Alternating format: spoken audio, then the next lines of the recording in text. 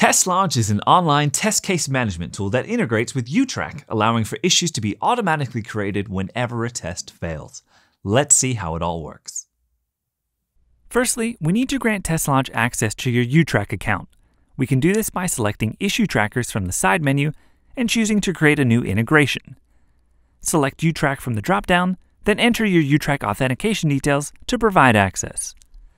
From here, we need to associate a TestLodge project with one in YouTrack. This is where your issues will be created.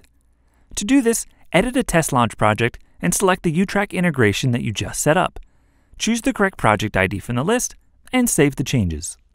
Now, if we go to create a new test run from an existing suite, whenever a test fails, TestLodge will automatically create an issue in YouTrack, taking away the tedious task of manually creating them.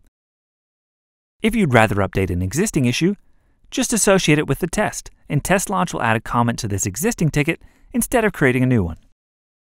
Let's quickly jump over to YouTrack, where issues for the failed tests have been created, all of which contain the relevant and important information for a developer to replicate and fix the issue.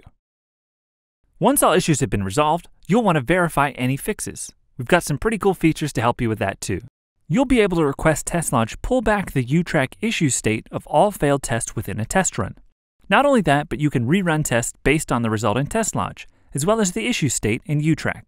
This means we could create a rerun with all tests that have failed and have resolved tickets in YouTrack. When executing the rerun, if a YouTrack issue has already been created for the test, TestLodge will update this instead of creating a new one. You can even change the YouTrack ticket state directly from TestLodge.